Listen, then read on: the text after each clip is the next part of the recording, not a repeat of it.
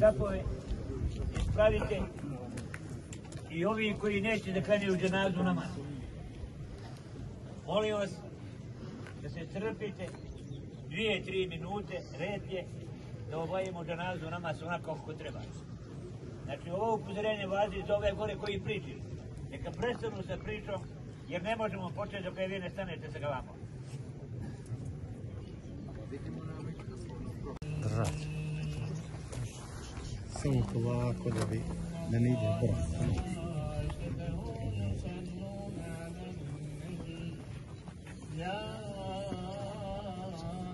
الذين آمنوا صلوا عليه صلوا عليه وسلموا تسليما اللهم صل وسلم على سيدنا ونبينا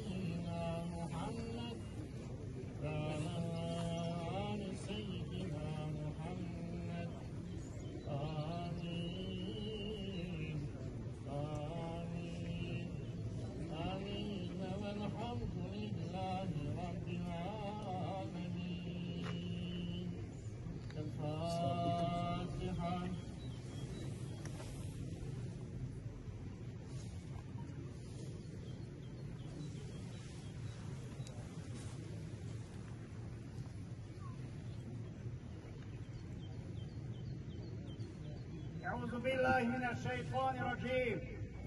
بسم الله الرحمن الرحيم. نويت أن أصلي لله تعالى صلاة الجنازة.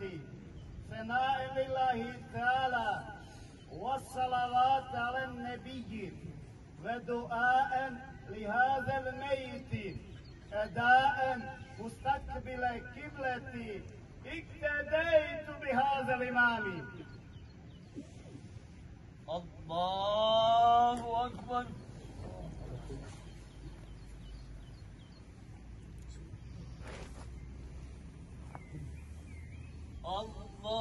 الله أكبر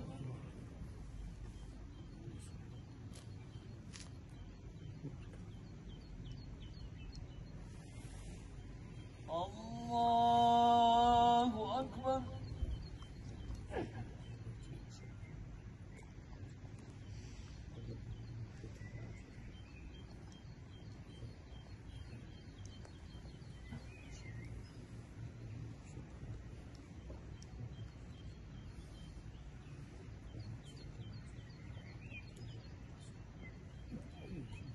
الله أكبر.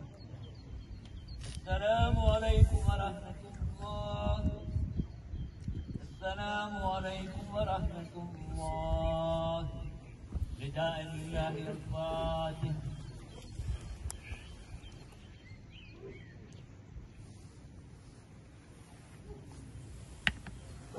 Hvala braćo, cijenjene sestre, uvaženi prijatelji. I poštovaoci našeg rahmeti rifata. Evo, Allah je dragi tako htio da se danas u ovom Mubarek danu sa ikindije namaza okupimo i da uputimo dovu Allahu Đelešanuhu za dušu rahmeti rifke. Ne tako davno, kada je bila dženaza Musinom sinu, zadnji su nam pogledi bili usmereni jednog prema drugom, stajao je ovdje otprilike po desnoj strani od mene, kada je klanjao dženazu i pogledom smo se upitali, razgovorili i to je naš zadnji razgovor i zadnji pogled i zadnje razgovaranje kada je bio stao u sam. Allah je htio da i danas njemu klanjamo dženazu. Tako je Allah odredio. Kad Allah Đešanu kaže kun pa je kun. Tako je i bio. Repiće je bio ovdje sa nama. U petnici. Volio je petnicu najviše. A volala je Boga mi i petnica njega. Nije rahmetli Rivko. kako smo ga svi iz milja zvali. Bio omiljen samo u Peknu, motom. Tada ga je bolala nepravda i on je prvi pravio reportaže još dok je radio u radio televiziji Crne Gore. Kao vrstan novinar, kao dobar sportista, uvijek je uspješno odrađivao svoje poslove. Kasnije je bio, kao što znate, u šest saziva poslanik u Skupštini Crne Gore. U pet mandata je bio potpredsjednik Skupštine. Svaki zadatak koji je primio radio je onako kako dolikuje jednom ozbiljnom, mudrom i pametnom čovjeku. Za njega nije postojala ni razlika u rasi, ni u boji, ni u jeziku, ni u vjeri, ni u naciji. Za njega su ljudi bili samo ljudi. Zato kažem da je on bio pravi naš ambasador, ambasador Bihora. A Boga mi ne samo i ambasador Bihora, nego i ambasador čitave Crne Gore. Jer on nije volio samo Podgoricu i Petnicu, volio on i Herceg Novi, i Bar, i Kulašin, i Ulci, i sve ljude sa kojima se srećao, koji su ga cijenili i koje je on volio. Zato mu i kao novinaru i kao čovjeku ne smijemo zaboraviti. On je prvi i među prvima koji se borio za status vraćanja općine Petice. Prvi koji je pošao na zadatak da se probije put u Dešnicu i da se povežemo, da budemo što bliži i Podgorici, i Cetinju i Baru. A volio je mostovi i puteve. Zašto ih je pravio? Zašto se borio? Da poveže ljude, da se ljudi druže, da jedan drugo- drugoga upoznaju kako bi bolje jedan drugoga cijenili. Imalo bi puno što se kaže, ali nije vrijeme, nije vrijeme, jedino što bih želio da vam poručim, draga braća, da sve ono što je Ritko radio za nas, nikad mu ne smijemo zaboraviti. Davao je sve od sebe, i za Bihovac i za Crnu Goru. Nije Rifatovo radno mesto bilo ograničeno. Radio i subotom, i nedeljom, i vikendom. I gdje god smo ga zastavili na putu, uvijek je bio na zadatku da pomogne, da sasluša, da ono koliko je u mogućnosti posavjetuje ljude. A nama je toga uvijek trebalo, a Boga mi smo ga uvijek slušali, jer smo imali koga da poslušamo.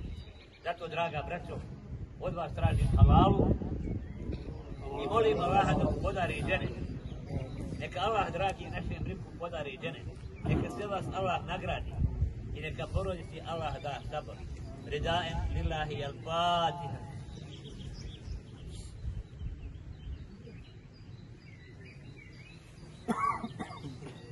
Neko od porodice. Evo misla će samo nakratko.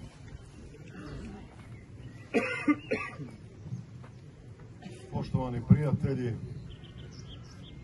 draga braćo i sestre, naš rejs u Podgorici reče da nema dovoljno riječi da se kratko kaže poštovanom i dragom Rifatu Rastolju.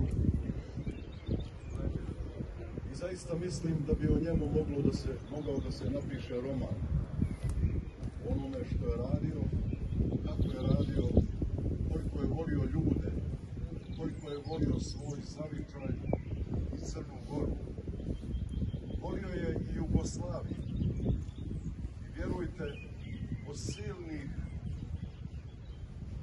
izraza saučešća, sinoć sam pomislio 4. maja 1980. Jugoslavija je tuglovala za jednim čovjekom. Sinoć sam osjetio da najmanje Crna Gora tuguje za Rifatom i tuguje u mnogi do Australije, odakle su stizale poruke. I sad, ja prije svega želim svima vama, posebno i onima koji su poslali poruke, zvali telefonom, telegramima i tako dalje, izražavali duboko saosjećanje sa porodicom i svima onima koji žale našeg Ripata.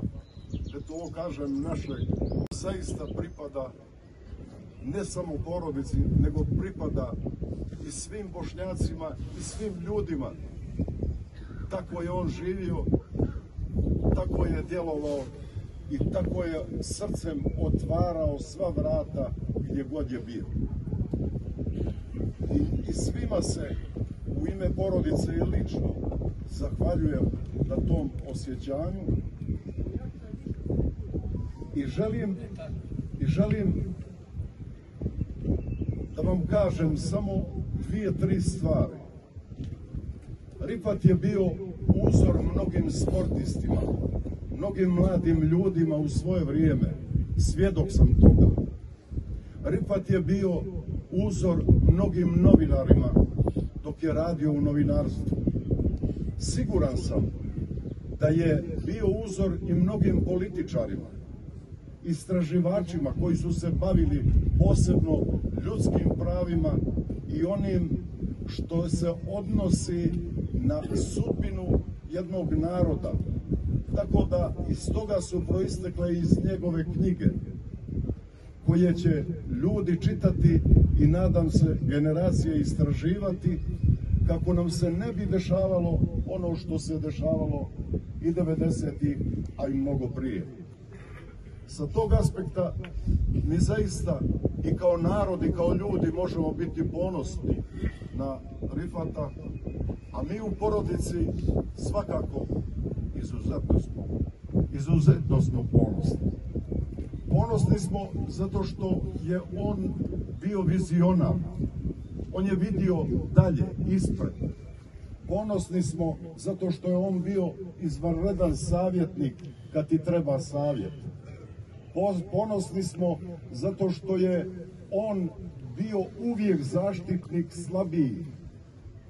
I tu je bio nepokolebljiv. A kako ne i prema svojima u samoj porodici, u bratstvu, u kraju, gdje god je bio. I na kraju, nemojte mi zamjeriti, moramo se obratiti sa dvije riječi. Halali, brate, ako te ponekad nijesmo razumjeli dovoljno, jer ti si vidio malo dalje.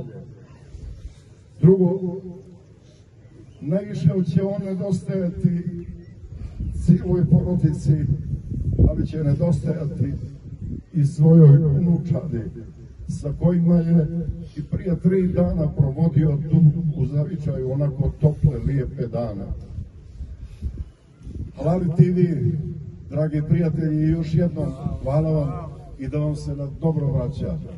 I sada ću zamoliti, zamolit ću predsjednika opštine Petnica, ipak on je stalno žudio da opština Petnica napreduje i napredovat će ako budu makar djelićem čitali njegove ideje koje je nesebično dijelio i prosipao. Ali ja sam siguran da ovdje ima mnogo pametnih ljudi koji će ovaj kraj sačuvati u interesu i naroda i naše Crne Gore. Sam Milagović. Poštovani prisutni, poželjšno porodice, poželjšno bratstvo, rastoder, poželjšne Bihore, Crna Gora. Ponosna porodice, ponosno bratstvo, ponosni Bihore, ponosna Crna Gora. Tokom čitave epohe trajanja života na ovim prostorima, ovaj kraj je uvijek imao znamenite i velike ljude. I naravno da su se ta vremena pamtila i prepričavala upravo po tim i takvim ljudima. Istinski velikan svoga vremena, dakle današnjeg vremena u kojem smo zajedno živjeli, bio je naš Rifat, Rifko Rastović. Čovjek od istine, čovjek od pitomog i mekanog srca, širokog osmijeha, veliki vizionar, mudrac, državnik, svojevrsni filozof i za svega najveći bihorac. Mi danas, dragi prijatelji, svjedočimo da je veliki broj ljudi upravo došao danas ovdje da porodici, prijateljima, bratstvu, našoj opštini iskaže svoju o, brigu o tome kako će Bihor biti i Crna Gora bez Rifata. I mi to razumijemo. Zahvaljujemo se ljudima koji su to tako i shvatili. On je simbol modernog našeg vremena i vremena u kojem je spajao ljude, rešavao probleme i nikada se nije žalio da bude pomoći drugima. To zaista rade samo veliki ljudi. I velikim ljudima se sudi upravo na ovakvom danu kada odlaze sa ovoga svijeta. A ja sam ubijeđen da dijelim sa vama mišljenje da smo mi kao ljudi i tekako cijenili ko je bio Rifat Rifko Rastav. U to ime još jednom porodica mora i ja znam da hoće i znam da će imati snage da bude ponosna, da bude jaka i da ovaj trenutak koji je izuzetno težak za sve nas bude trenutak kada ipak moramo shvatiti da i ovo se dešava, ali i da kada se desi, ako se desi na ovaj način i ako se desi ovakvim ljudima, kakav je Rifat, rastanak je mnogo, mnogo lakši. Dragi prijatelji, mi u Bikuru smo navikli da Rifata, Rifka pozovemo u svako doba dana, noći, ne birujući kakav je problem pred nama i ne birujući šta ćemo mu reći. Ono što je istina, nikada nismo ostali bez odgovora. Bilo to da smo iz bratstva, iz komšluka, iz politike, pa i one suparničke ili kako god. Taj čovjek velikog srca, bistrog kuma i sjajnog ljudskog entuzijazma i empatije reagovao uvijek na pravi način. Danas i vaše prisustvo juče o tome svjedoči. Lik i djelo Rifata Rasadera bit će jednako veliko ko što je još jednog Rifata Burđevića velikana s ovih prostora i poslije 50 ili 60 godina prisutno i veliko. Ubiđen sam da što je ovaj naš Rifko radio ništa manje vrijedno nije od toga iako kontekst poređenja možda nije isti. Ali ideja, poruka, način života, ophođenja prema ljudima i briga za kraj, briga za Crnu Goru, za Evropsku Crnu Goru, za prava svih ugroženih, za prava siromašnih, za prava koji su ugnjetavani. Rifat je imao uvijek borbu i borio se za njih i ta je borba davala rezultate. Ubiđen sam da je jedan od ključnih ljudi koji je Crnu Goru učinio boljom, demokratičnijom, pristupačnijom za sve nas. Znam pouzdano, bio sam svjedok, u nekim teškim trenucima donosio je hrabre odluke i odluke koje su daleko sežne i odluke o kojima možemo govoriti i danas i pisati. I pisat će generacije koje dolaze i generacije koje su sada, sada uh, na, ovom, na ovom prostoru. Draga porodico, ja želim da vam kažem kao prvi predsjednik opštine Pećica da mi je posebno drago što sam bio sa tim čovjekom na tom našem svetom zadatku i putu da ovaj kraj dobije status opštine. I ubijeđen sam da nije bilo njegove snage, njegove energije i vizije da bi sve bilo možda i drugačije. Zato smo dužni, mi koji volimo Peticu, koji volimo Bikor, koji volimo ovu porodicu, da čuvamo to njegovo veliko djelo. Uviđen sam da će njegova porodica, šire bratstvo, jednako biti ponosni kao i mi iz opštine, kao i mi iz Crne Gore, kao i mi iz dijaspore, iz regiona, da čuvamo ono što je veliko i plemenito na ovom dunjalu, a to je dobro djelo. Samo dobra djela ostaju zapamćena i prepričavat će se generacijama. Mi moramo nastaviti dalje, porodice želim zaista, kao i svi vi, dragi prijatelji, da imaju snage, da imaju kuražnosti, da ovaj teški trenutak prevaziđu, da ovaj teški trenutak nikada i nikome se ne desi na ovaj način i posebno da se nikada i nikome ne desi u trenutku, u životnoj dobi, kada smo svi od Rivka očekivali još više a ja vam svjedočim i mnogi od vas imao je energije, imao je ideja, od nas je zapljuskivao sa riječima, sa namjerom šta treba još uraditi i stvoriti. Neće ostati to bez rezultata. To će biti nama svoje vrsti manet da nastavimo tamo njegovom vizijom koja je bila zaista šira od mnogih od nas.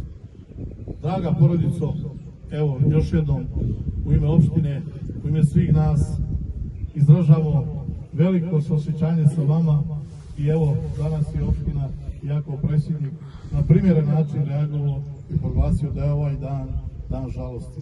I doista je tako. I ne samo ovaj dan.